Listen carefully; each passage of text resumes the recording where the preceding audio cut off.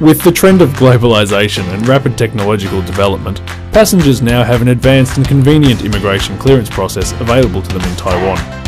Taiwan's e-gate is now open for Australian passport holders who have completed the enrolment process. Fast e-gate enrolment.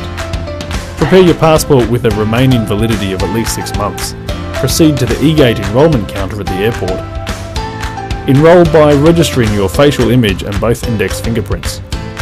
After signing the application form, you can use the e-gate immediately.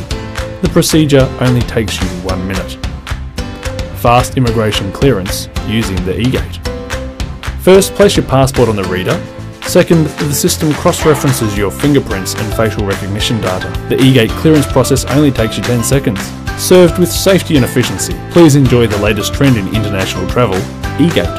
A friendly reminder, please complete your online arrival card and ensure that your passport has at least 6 months validity before coming to Taiwan.